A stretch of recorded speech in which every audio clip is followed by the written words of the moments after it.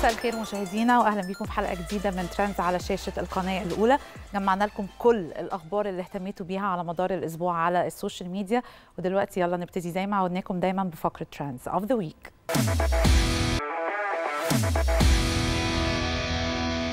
السماء تمطر أسماك. شجاعة سيدة سعودية. سماء الأقصر تتزين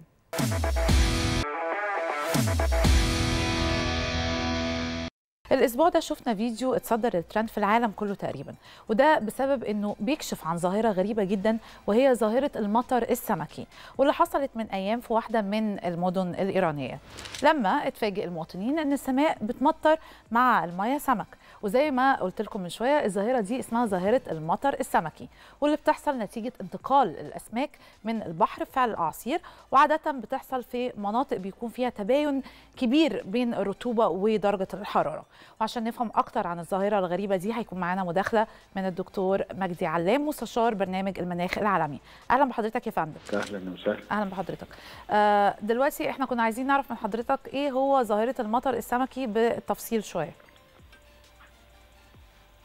وطبعا يعني في حاجة اسمها الظواهر الجامحه يعني. الظواهر الجامحه دي ال extreme events بتحصل في آه يعني أوقات نادرة وفي مواسم نادرة. لكنها بتبقى جزء من تيارات أكبر يعني التيارات الكبيرة التي تمر عبر المحيطات سواء المحيط الأطلنطي أو المحيط الهادي أو المحيط الهندي أو غيرها من المحيطات اللي هي المسطحات المائية الكبيرة. وصاحبها أيضا آه يعني حركات رياح شديدة اللي إحنا بنقول عليها الأعاصير. الأعاصير دي ممكن تشيل وهي ماشية شجر وممكن تشيل وهي ماشية نباتات وممكن تشيل وهي ماشية تيارات مائية ولذلك حتى على المحيط الهادي بتلاقي التيارات المائية بيطلع عليها ظواهر أعاصير. الاعصار بيبقى واخد الأرض مسطح الأرض واخد مسطح الهواء واخد معاه جزء من مسطح المية.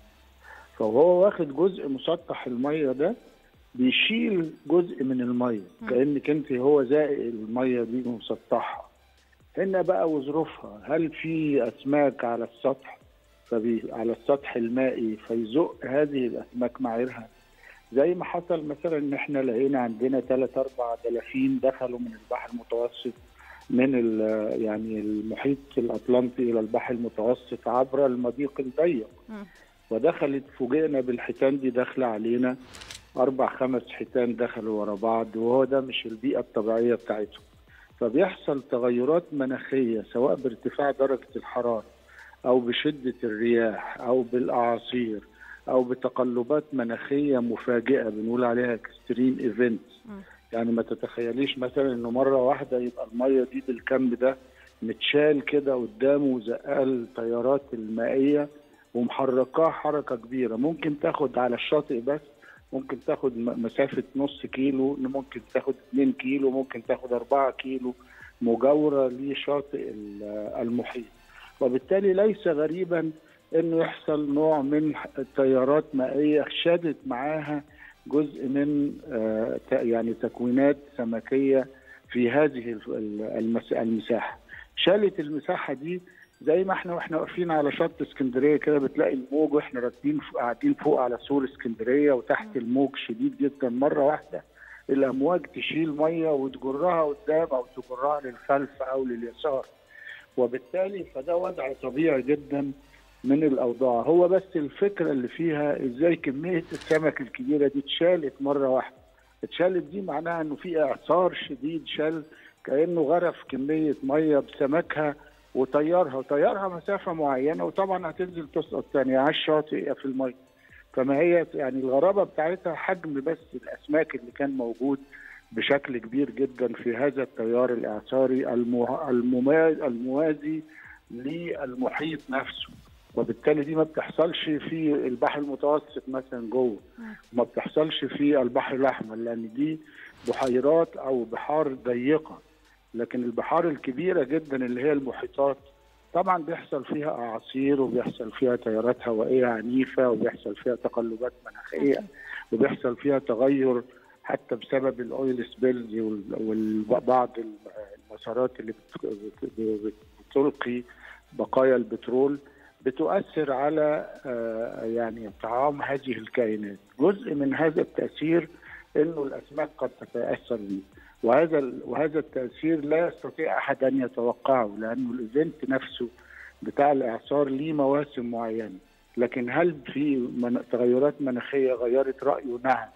في تغيرات مناخية غيرت رأيه وخلته يا إما بيجي بدري يا إما بيجي متأخر يا بيجي بلا مقدمات. زي اللي حصل في الإمارات ده بلا مقدمات. م. مين يتخيل حجم السيول وفي السعودية اللي حصل هذا الكلام دون أي مقدمات؟ في أراضي أساسا جافة وشبه جافة وأراضي من النادر يسقط فيها أمطار. لكن اللي حصل إنها غرقت الدنيا. دكتور مجدي علام بشكر حضرتك جدا على المداخله ميرسي. الأسبوع اللي فات اتعرضت المملكة العربية السعودية لسيولة عنيفة جدا. عملت مشاكل كتير في الشوارع بسبب ارتفاع منسوب الميه وده أدى إنه عربيات كتير تعطل وناس تتحبس فيها. وهنا ظهرت شجاعة سيدة سعودية في مدينة القصيم لما خرجت من عربيتها وقدرت إنها تنقذ عائلة كاملة. كانت محبوسة ومش عارفة تخرج من العربية بسبب السيول دي. الموقف البطولي ده هو اللي خلى الفيديو إن هو يتصدر الترند خصوصا على موقع إكس تويتر سابقا.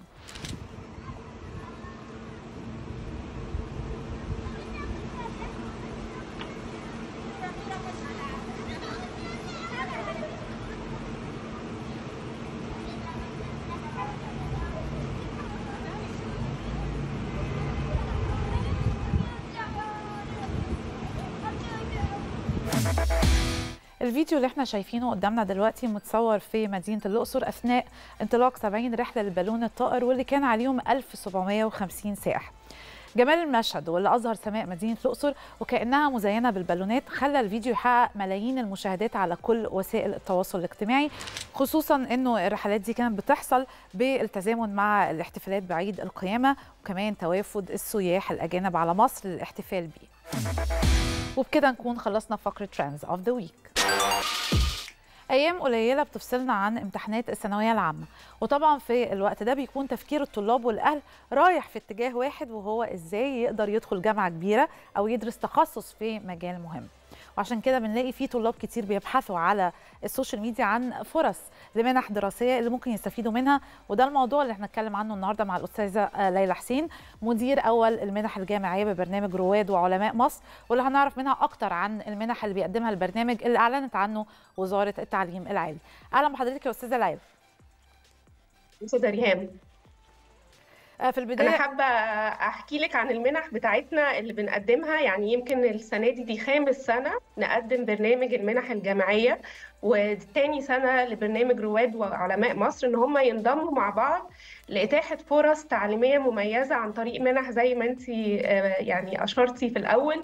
وطبعا ده في الوقت اللي الولاد بيذاكروا. ربنا يكون معاهم كلهم ويوفقهم إن شاء الله في المذاكرة. طبعا إحنا البرامج بتاعتنا يا فندم تحت إشراف وزارة التعليم العالي والبحث العلمي وبتكون مقدمة من الوكالة الأمريكية للتنمية الدوليه وإحنا في الجامعة الأمريكية بنقوم بتنفيذها. وطبعا كل المعلومات اللي بتبقى عن المنحة بتبقى موجودة على شركة نيوتن للخدمات التعليمية للاستمارة وكل المعلومات اللي موجودة. طيب إيه الجديد اللي بيقدمه البرنامج السنة دي؟ طيب إحنا فعلا السنة اللي فاتت كنا مع بعض يا أستاذة ريان أيوه بالظبط. وكنا سعداء نفس الوقت وكانت امتحانات برضه 250 منحة.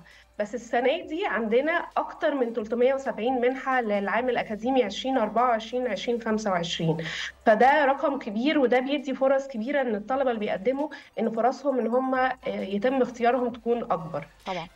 السنة دي عندنا حاجات جديدة برضو أحب يعني أقولها لك أتفضل. إن السنين اللي فاتت كنا بنبقى علمي علوم وعلمي رياضه المنحة وكانت الشعبة الأدبية بتكون للطلاب ذوي الإعاقة. السنة دي إحنا فاتحين في الشعب جميعا العلمي علوم والعلمي رياضه والأدبي وعندنا تخصصات جديدة كتير هنتكلم عليها في قطاعات مهمة جدا للدولة.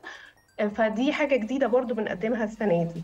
آه عموما إحنا دايما بنهتم إن 10 من 15% من المنح اللي إحنا بنقدمها تكون للطلبه ذوي الإعاقة.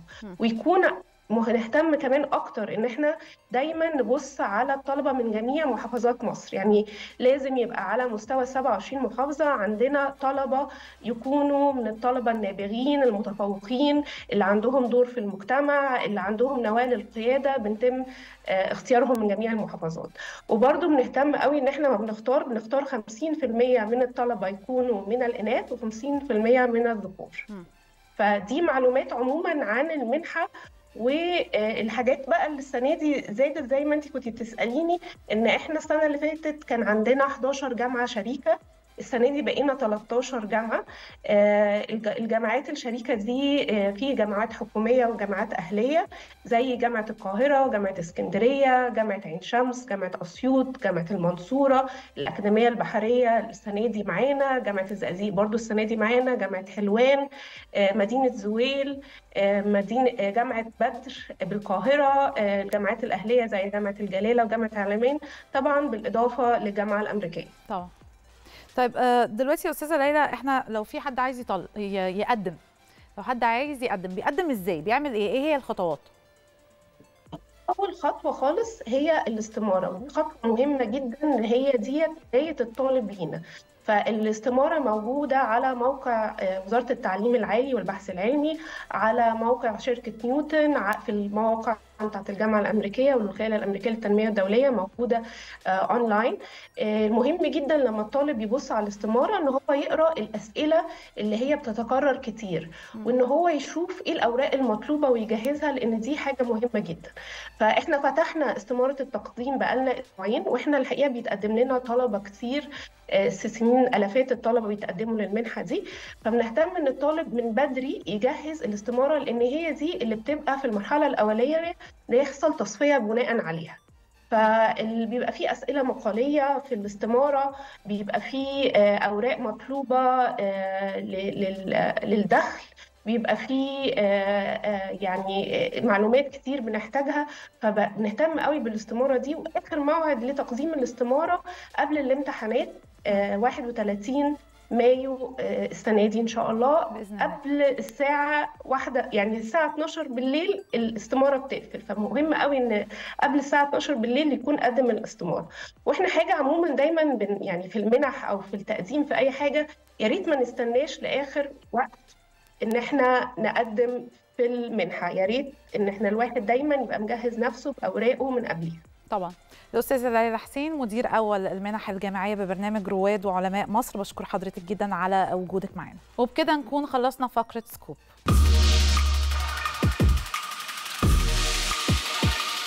تعالوا دلوقتي نروح مع بعض نشوف فقرة ال social lab ونرجع نكمل بقية فقراتنا. استنونا. هنبدأ من التيك توك لأنه بيحبه جدا ومتفاعل بشكل كبير جدا عليه. بيتابع كريم محمود عبد العزيز 3 مليون و900 ألف متابع وحقق لحد دلوقتي 10 مليون و900 ألف like على فيديوهاته. سليمان عيد دايما ليه النصيب الأكبر من الفيديوهات اللي بتميزهم على ال social media هو وكريم. وعملوا كذا فيديو مع بعض وحققت نجاح كبير جدا. من التيك توك نروح للإنستجرام وده تاني application كريم محمود عبد العزيز متفاعل عليه جدا وعلى طول بينشر صور وفيديوهات. بيتابع كريم 4 مليون و200 ألف متابع وهو بيتابع 962 واحد. نشر لحد دلوقتي 1015 صورة وفيديو وزي أي فنان الصور على ال account كلها صور posters لأفلامه وكواليس مشاهد من أعماله. اللي يعرف كريم يعرف قد إيه هو كان مرتبط بوالده الفنان الكبير محمود عبد العزيز. الله يرحمه. ووالدته كمان. فلقينا إنه نشر أكتر من 40 صورة تجمعه بوالده ووالدته وأخوه الفنان محمد محمود عبد العزيز. وبكده نكون خلصنا السوشيال لاب ونروح لفاصل ونرجع نكمل فقراتنا.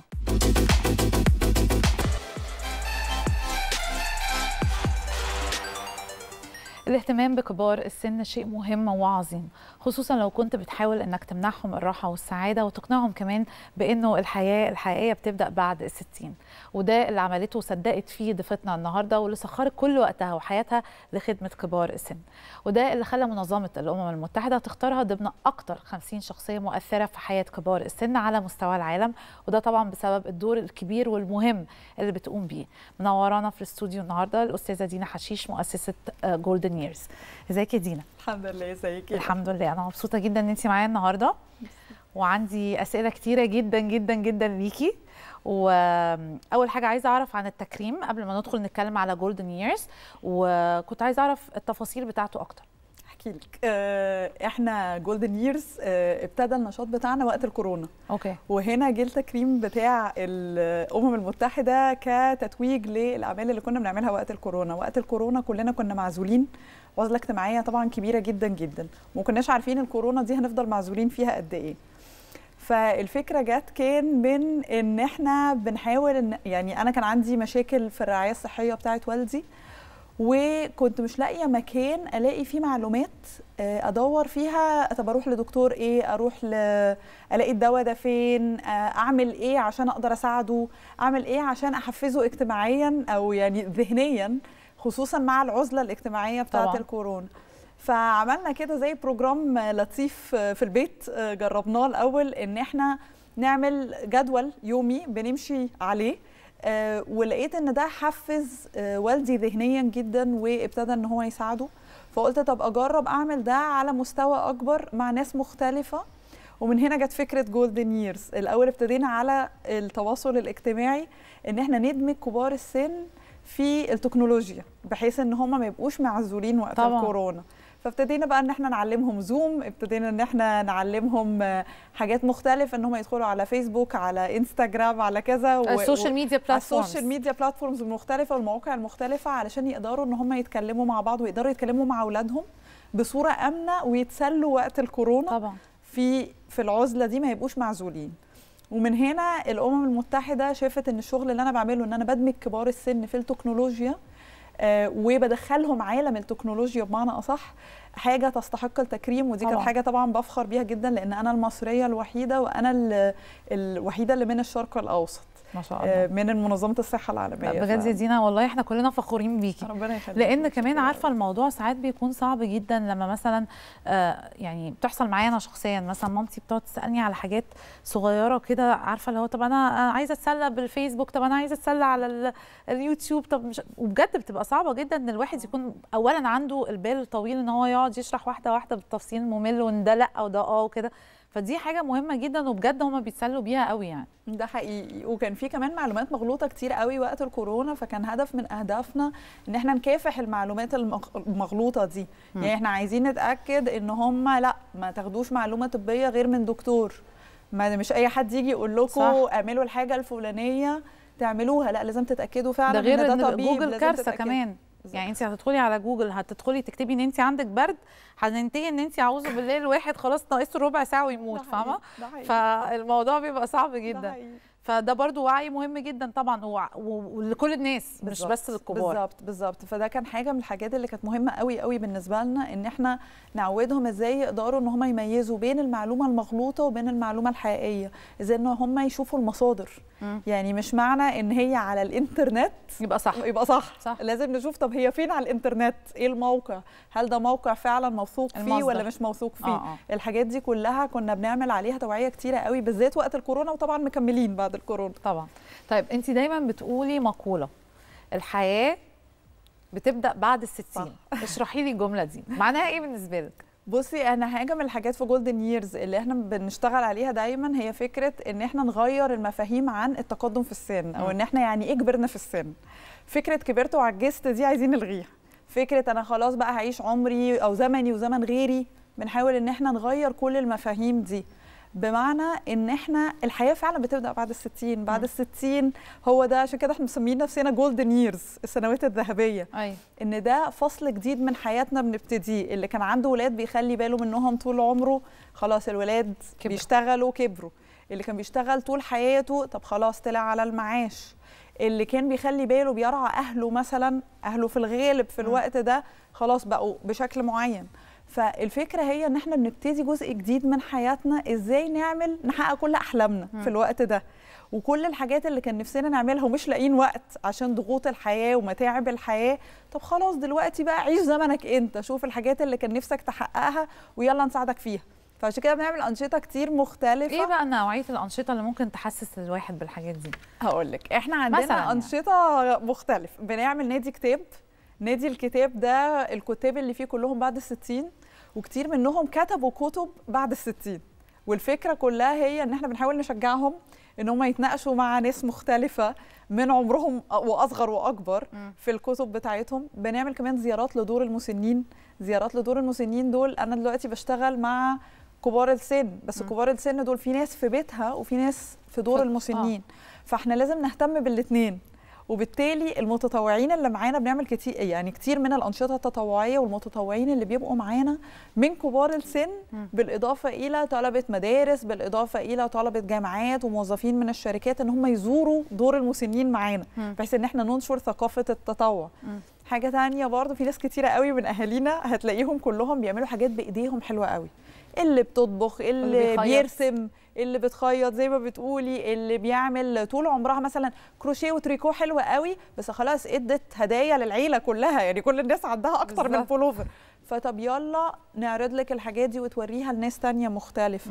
بقى عندنا كمان كورال الكورال فيه ناس ستينات سبعينات تمانينات من الرجال ومن السيدات بيغنوا آه، عندنا كمان أنشطة مختلفة إن هو مع دكاترة لقاءات صحة لقاءات الصحة دي قد إيه؟ إحنا هدفنا الناس إنها اسمها لقاء الصحة. لقاء الصحة يعني إزاي أبقى بصحة جيدة. مم. فحتى لو أنا عندي عرض أو مرض معين صعب طب إزاي إن أنا أقدر أتعامل مع هذا المرض؟ وإزاي ولادي كمان أو اللي بيخلوا بالهم مني يقدروا يتعاملوا مع هذا المرض؟ فبنعمل لقاءات أونلاين وعلى الحقيقة مع الدكاترة آه، على مواضيع مختلفة قوي. يعني آه، ال- الزهايمر الدمنشيا الجلطات إزاي أتعامل مع الاكتئاب إزاي أتعامل مع فترة ما بعد المعاش مم. إزاي إن أنا وأنا بخلي بالي من حد أخلي بالي من صحتي كمان النفسية. مم. فدي كلها حاجات من الأنشطة اللي إحنا بنعملها. عندنا كمان رالي رالي مشي. رالي مشي اسمه الحركة بركه الحركة بركه ده أول رالي مشي لكبار السن في الشرق الأوسط. فكرته هي إيه؟ فكرته هي إن الحركة بركه طبعا. إحنا لما بنتحرك قدراتنا الذهنية بتتحسن. قدراتنا العقلية قدراتنا جسمانية. النفسية جسمانية آه، كل الناس بتلاقيها بتشتكي من ركبها. ومن ظهرها. مع كبر السن طبعا لو أنا بتمشى 20 دقيقة حالتي الصحية هتتحسن بعدين النشاط مش لازم نبص له إن أنا لازم ألبس لبس معين عشان أتمشى لا ده أنا ممكن بلبسي العادي ده ألبس بس جزمة مريحة وأنزل أتمشى صح. أشد جاري وأنا نازلة أو جارتي وأنا نازلة أشد أحفادي ولادي أي حد من المحيط ده معايا بيكون يتمشى موجود معايا. إمتى ولا ليه مواعيد معينة؟ مين بينفع يشارك فيه؟ بيتعمل فين؟ عايزة أعرف كل ده. عندنا رالي المشي بتاعنا في الميريلاند إن شاء الله يوم 11 5 هيبقى يوم السبت 11 5 التسجيل الساعة 9 الصبح واليوم مستمر لغاية 4 بعد الظهر. وهيبقى برعاية وزارة التضامن الاجتماعي بإذن الله. ويعني إحنا فخورين جدا جدا جدا إن إحنا جات لنا الرعاية بتاعه وزارة طبعاً. التضامن. وهيبقى يوم للعيلة كلها. يعني كبار السن يمشوا إحنا معانا ناس لغاية 106 سنة. ما شاء الله. بيبقوا مشتركين معانا ومنها إن هم يتحركوا ويقضوا يوم في الجنينة. طبعا. ففكرة إن إحنا مقضيين يوم بنتعرف على بعض بنكبر دايرتنا الاجتماعية. لأن إحنا كلنا طبعا كل ما بنكبر دايرتنا الاجتماعية بتصغر. فاحنا بنحاول نخلق فرص إن الكبار دايرتهم الاجتماعية تكبر مش تصغر. بناء على ال يعني بالأنشطة المختلفة اللي هم بيشتغلوا عليها. طب زينة أنا عايز أسألك حاجة. لما الناس بتكبر في السن بتحسي إن هم بيكونوا شخصيتهم أصعب طبعا عناديين أكتر شوية. آه إزاي بتقنعيهم إن هم يشوفوا الحياة بالمنظور ده؟ إزاي أقنع مثلا حد كبير في السن إن هو ينزل ويروح الرالي ده لو يقدر طبعا؟ إزاي إن هو يشارك في آه مثلا الندوة بتاعة الكتاب إنه يعني يعمل أي نوع من أي حاجات اجتماعية تخلي المود بتاعه أحسن ويتعرف فعلا زي ما قلتي على ناس جديدة. فبتبقى ساعات صعبة قوي إن انت تعرفي تقنعي حد كبير في السن إن هو يعمل حاجة هو مش متعود إن هو يعملها. إزاي تقدري تعملي ده؟ بإن إحنا نسمعهم. بصي أنا بشوف حاجة حاجة في جولدن ييرز بنبقى دايما حريصين قوي عليها إن إحنا نعرف الناس محتاجة إيه. ان إحنا لما بنسمع هم محتاجين إيه بنبتدي ان إحنا نغير في الأنشطة المختلفة اللي إحنا بنعملها علشان انها تواكب الحاجات اللي هم بيدوروا عليها. يعني إحنا ما عملناش نادي الكتاب من فراغ أو الكورال من فراغ بالعكس إحنا سألناهم طب أنتوا نفسكم تعملوا إيه؟ اللي قال أنا نفسي أغني اللي قال أنا نفسي آه، أعرض الكتب بتاعتي. اللي قال طب أنا نفسي إن أنتوا تساعدوني إن أنا آه، أعمل آه، قناة على اليوتيوب أو على الإنستجرام. فابتدينا إن إحنا نعمل دورات بواسطة متطوعين. مم. يعني إحنا كل كل الناس اللي بتساعدنا الحقيقة متطوعين من مجالات مختلفة. إن هم يساعدوهم إن هم يعملوا قناة لنفسهم يحكوا فيها أو يشرحوا إزاي نعمل الحاجات اليدوية دي. فبنبتدي أهم حاجة إن إحنا نسمع أهالينا. مم. لما بنسمع أهالينا بنعرف هم بجد محتاجين إيه. مش أنا حد صغير في السن جاية إن أنا أقول لهم طبعا. أنا عارف إيه المظبوط. طب أنت ليه ما بتخرجش؟ أنت لو خرجت هتتحسن. مش ده النقطة. هو ممكن يكون مش بيخرج عشان أسباب ليها علاقة بالبيئة المحيطة بيه. مش أسباب ليها علاقة خالص خالص. مم. بإن هو ما نفسوش يخرج. بالعكس هو ممكن يكون مش عايز يتعبنا. يعني ممكن يكون بجد حاجة بسيطة كده اللي هو شايف إن هو مش عايز يتعب ولاده آه. أو مش عايز يكلف ولاده أو عارف إن ولاده لما بيخرجوه أو يعني المحيط اللي بيه حتى لو مش ولاده كل لما بيخرجوه بيخرجوه خروجة غالية. فمش عايز مش عايز يكلفهم أو عارف مثلا إن هم مشغولين في مشاغلهم في شغلهم في دراستهم في أي حاجة. فمش عايز يبقى عبء. خلي بالك أهالينا بيبقوا حساسين. طبعا. حساسين قوي. فهم بسبب الحساسية دي بيبقى دايما مبقي الدايرة اللي حواليه عن نفسه. صح. ف... ف... فاحنا لازم نسمعهم ونعرف طب أنت ليه بجد مش عايز تخرج؟ هل مثلا تعبان؟ هل مش عارف إيه؟ هل جزمتك مش مريحة؟ ممكن تبقى بجد حاجة بسيطة زي كده. أو هل قلقان من الطريق؟ طب بدل ما أخرجه مسافة بعيدة طب أخرجه مسافة أقرب. قريبة. بالظبط. فكرة دور المسنين عامة في مصر بت... بتقابل الناس الناس بتقابلها بطريقة حادة شوية. بيحسوا إن كأن مثلا الشخص ده إنه ما عملش اللي عليه مع أهله فهو بعته دور المسنين. آه، بيحسوا إن هو كأنه مثلا بعته علشان هو مش عايز يشيل مسؤوليته بعد ما طبعا هو ربى وكبر وعمل وسوى انت إيه رأيك في الكلام ده؟ بصي دور المسنين حاجة مهمة إنها تبقى موجودة مش كل الناس عندها حد يرعاها ففي ناس آه حقيقي محظوظة إن عندها دايرة بترعاها. وبتخلي بالها منها. لكن في ناس ما هياش محظوظة بالشكل ده. وفي ناس تانية بالعكس بتبقى شايفة إن دور المسنين دي حاجة لابد منها. بالعكس إحنا معانا ناس بتقول لك أنا هدخل نفسي دار مسنين لما ما أقدرش أعتني نفسي بنفسي. وبالعكس أنا مش عايزة اولادي يشيلوا همي. فهو الفكرة هي إن كل شخص في دار المسنين بيبقى موجود لسبب مختلف عن التاني. هقول لك حاجة بسيطة. إحنا لما بنيجي نعمل زيارات إحنا زورنا لغاية دلوقتي أكتر من 20% من دور المسنين في مصر. أوكي. لما بنيجي نزور دور المسنين بنبقى حريصين جدا جدا إن كل المتطوعين اللي معانا إحنا معانا بيبقى متطوعين لغاية فوق ال 90 سنة أوكي؟ وناس طبعا صغيرة من أول تانية ابتدائي بيجوا معانا متطوعين من المدارس. أنا جاية أنا وابني خلاص. أنا مبسوطة قوي بالموضوع ده. بنعمل لهم تدريب كيفية التعامل مع كبير السن اللي في الدار. ما ينفعش إن أنا أروح دار مسنين أقول له طب هو إيه اللي دخل حضرتك أو حضرتك هنا. ما ينفعش. أكيد طبعا. مش قصتي. أنا داخلة عشان أبسطه. صح. داخلة عشان أسمعه داخلة عشان أقضي معاه وقت. وداخله ان أنا اعمل له حفله. أنا عايزه ان هو هو وهو خلاص داخل خلص اليوم على ان هو مبسوط. بالظبط. يعني إحنا وإحنا داخلين بتلاقي شكل وإحنا خارجين بتلاقي شكل تاني. هو وإحنا داخلين هو مش فاهم أنتوا جايين تعملوا إيه أنا معرفكوش. وإحنا خارجين خلاص إحنا قعدنا وقضينا وقت اتكلمنا معاكم خصوصا لما بتجيبي كمان أطفال مع دور المسنين بتبقى حاجة لطيفة قوي إن هو الأطفال اولا بيتعلم فكرة التطوع لغيره. طبعا. وفكرة كمان إن هو يدي من وقته إن وقتك ده ثمين جدا فأنت لما بتديه لحد تاني بتسعده. صح. وفكرة كمان إن, إن أنت الكبار كمان بيكونوا مبسوطين طبعا بيبقوا بالأطفال. مبسوطين إن ده أي طفل شايفه زي حفيده. إحنا معانا طفل مرة جالنا سبع شهور مراد مراد ده لما جه مع مامته يعني مش عايزة أقول لك كل كبار السن انبسطوا بيه إزاي كانوا مش. مصدقين إزاي أيوة. في طفل صغير جاي مع مامته انبسط وغير طريقة الزيارة تماما. طيب آه، دينا إيه اللي بيحتاجه كبار السن؟ كبار السن؟ غير انت قلتي إن هو آه. بيحتاجوا إن حد يسمعه. آه. ماشي إحنا فهمنا ده. إيه إيه اللي غير ده؟ بيحتاجوا معلومات. مم. معلومات عندهم ومعلومات عند اللي بيخلي باله منه.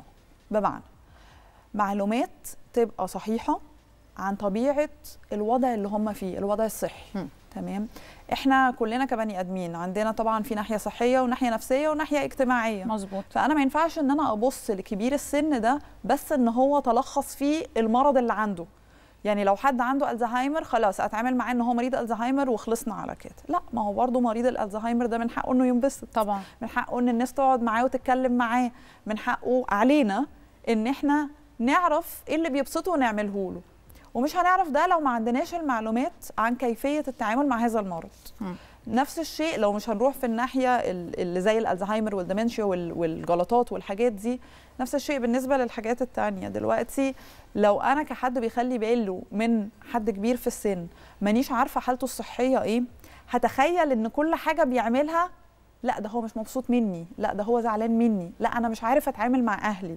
أصل هم لما كبروا بقوا صعبين قوي. أنا دايما بسمعها حتى من الدايرة بتاعتي يعني أهلي لما كبروا بقوا صعبين قوي. دايما أصحابي صح. وكده بلاقي بلاقي الجملة دي أو أهلي بقوا عناديين أو أنا مش عارفة أتعامل معاهم. ما هو كلنا لما بنكبر بنمر بظروف مختلفة عن اللي مرينا بيها وإحنا حتى إحنا في صغيرين. سننا دلوقتي على فكرة إحنا بقينا عناديين عن زمان ده أكيد يعني. طبايع. طبايع. اولا كلنا يعني الاطباع مختلفة عن بعض. وغير كده كمان المراحل العمرية كل مرحلة عمرية ليها ال- التصرفات بتاعتها. المهم إن إحنا نعرف الشخص بيمر بإيه. ما ينفعش إن أنا أتخيل إن أهلي يعني لو أهلي بشكل معين بيتصرفوا طول عمرهم وفي الوقت القريب ابتدوا يتصرفوا بطريقة مختلفة طب ما نبتدي نشوف. ممكن يبقى ابتدى عندهم عرض صحي وإحنا مش عارفين إن في عرض صحي. صح. فمهم إن إحنا نتكلم مع دكتور ومهم إن إحنا دايما يبقى عندنا دكتور عارف الحالة الصحية بتاعتنا مم. وعارف هل في تغير في الشخصية ولا لأ هل إحنا كان طول عمرنا كده ولا لأ هل تحاليلنا حصل فيها حاجة ولا لأ. فمهم قوي إن يبقى في دكتور بنستعين بيه وبناخد الخبرة بتاعته في التعامل. ده من الناحيه الطبية. من الناحيه الاجتماعية دايما نحاول نفكر إن أهلنا إيه اللي بيبسطهم. مم. يعني لو هم بيحبوا قريبنا المعين ده أو قريبتنا المعينة دي وأنا ما. بحبهاش مش مهم. لا مش مهم نجيب طنط نجيبهم معانا يتغدوا يفطروا ياخدوا حتى شاي وقهوة. بالظبط. نحاول دايما نفكر إيه اللي بيبسطهم ونعمله. أو نحاول كمان إن إحنا نخرجهم يتعرفوا على ناس جديدة. إحنا. حاجة لطيفة قوي حصلت معانا في جولدن ييرز إن الأول كانت الناس بتبقى شايلة هم المشوار. طب أنا لسه هروح آه، نادي الكتاب أنا لسه هروح زيارة دار المسنين أنا لسه هعمل كذا الرحلة الفلانية أو العيد ميلاد أو كذا. فابتدينا نعمل إيه؟ إن الناس تجيب بعضها. فهم يعدوا على يعدوا بعض على بعض. بالظبط. وكمان يعدوا على بيكونوا بعض. صداقات. بيكونوا صداقات وبيوفروا فلوس. طبعاً. لأن كده هم جايين بالمواصلات. مع بعض مشوار واحد بيسلوا بعض بيعدوا على بعض وبيتعرفوا على الناس في نفس المنطقة. الناس اللي في نفس المنطقة دي هتبقى سند وعون لبعض. طبعا. لو ولاده مشغولين أو قرايبه مشغولين الشخص اللي اتعرف عليه في طلع في العمارة اللي جنبه بالصدفة أو في نفس الشارع هيسأل عليه. مم. فهي طيب أنا في بقى حاجتين مهمين جدا عشان اللي بيتفرج علينا لو مهتم بالموضوع لأن هو لذيذ جدا بصراحة. أول حاجة اللي عايز يتطوع بيعمل إيه في Golden Years وتاني حاجة اللي عايز يبقى من كبار السن اللي هم تبع مؤسسة Golden Years يعمل إيه؟ إحنا عندنا استمارة التطوع بتاعتنا محطوطة على موقعنا على التواصل الاجتماعي. إحنا اسمنا مؤسسة Golden Years للتنمية المجتمعية. فموجودين على الفيسبوك موجودين على الإنستجرام وعندنا كمان القناة بتاعتنا على اليوتيوب channel عليها كل اللقاءات الصحية اللي عملناها مع الدكاترة اونلاين على Zoom مم. فكل الحاجات دي موجودة. فده بالنسبة لاستمارة التطوع وبالنسبة للاشتراك والانضمام في الأنشطة المختلفة. okay. فيقدروا يتراسلوا معانا على الصفحة بيبقى في زي الصفحة دي عليها زي مثلا برامج إن يوم كذا الساعة بالظبط. كذا بيبقى فيه كذا اللي مثلا شايف إن هو مهتم بالحاجة دي بي apply عليها بالظبط صح؟ بالظبط بيقول لنا أنا عايزة أشترك في الرحلة الفلانية أنا عايزة أشترك معاكم بيقول لكم من خلال ال website بالظبط بيقول okay. لنا من خلال الموقع التواصل ال- الاجتماعي okay. إحنا حاليا شغالين على ال website بتاعتنا وإن شاء الله هيتم اطلاقها يوم الرالي يوم 11 مايو. فهيبقى برضه حفل إطلاق ال- الموقع. بتاعنا آه. الإلكتروني هو goldenyearsfoundation.org إن شاء الله فبإذن الله يقدر يتواصل معانا على الاثنين علشان يشترك سواء في الأنشطة أو يتطوع معانا أوكي وبالنسبة ل... آه انت قلتي بالنسبة لإن هو يشارك أو يتطوع. أو يتطوع. الحاجتين نفس الحاجة. بالظبط. والتطوع إحنا عندنا ملوش عمر. يعني إحنا حتى في الاستماره بتاعتنا بنقول لو حد فوق ال 100 سنة يقول لنا. يعني بتبقى آه. فيها أعمار مختلفة واللي فوق 100 سنة. فيعني ما عندناش أي عمر للتطوع بالعكس إحنا دايما نقول العمر مجرد رقم والشباب شباب القلب يعني. صح. آه، طموحات دينا حشيش. طموحاتي إن إحنا نقدر نكبر اثرنا ال- المجتمعي. إحنا حاليا بنشتغل أكتر في القاهرة. عملنا حاجة صغيرة كده جدا في الإسكندرية بس بس مش قادرين نعمل أنشطة كتير. ونفسنا ننتشر في كل محافظات مصر. لأن إحنا بدون الدعم مش هنقدر إن إحنا نقدر نكبر الأثر المجتمعي ده. إحنا طبعاً. طبعا, آه، يعني بنحتاج دعم من جميع الجهات طبعا. يعني الحمد لله إن إحنا عندنا حقيقي الدعم بتاع وزارة التضامن الاجتماعي في حاجة زي الرالي. لأن الرالي كان كفكرة فكرة مش مألوفة. طبعا. إن إحنا عايزين الناس تمشي عشان تبقى بصحة فيعني كبار السن بالذات. فالدعم سواء الدعم المجتمعي أو الدعم المادي يعني طبعا الدعم المادي ده ممكن يجي لنا من شركات القطاع الخاص الشركات المختلفة الجهات المختلفة جهات التمويل المختلفة عشان نقدر نكبر هذا الأثر المجتمعي. إحنا لغاية دلوقتي مؤسسة معتمدة بدرجة كاملة 100% على المتطوعين. أوكي. فنفسنا طبعا إن إحنا نقدر نكبر ده بحيث نقدر إن إحنا ننتشر في المحافظات كلها ونحقق الحلم ونعمل كل الأنشطة بتاعتنا اللي بس بنعملها حاليا في القاهرة الكبرى لأن إحنا بنعمل طبعا حاجات في القاهرة الكبرى يعني القاهره والجيزه مفهوم. آه نقدر إن إحنا ننتشر في محافظات تانية ونكبر آه ال- الأثر ده بإذن الله يا دينا وربنا يوفقك. وأنتي عاملة حاجة حلوة جدا جدا جدا. وابتسامتك حلوة وروحك حلوة. وبجد ميرسي جدا إن انت جيتي النهارده. ميرسي لحضرتك ومستنيينكم طبعا. واهاليكم وكل اللي. تعرفوهم في رالي المشي بتاعنا. العيلة كلها خلاص. بالظبط. يوم كلنا السبت جايين. مستنيينكم. في الميريلاند الساعة 9 إن شاء الله. ميرسي خالص. شكرا جزيلا. وبكده تكون خلصت حلقتنا النهارده. نشوفكم إن شاء الله الاربع الجاي في نفس الميعاد. bye bye.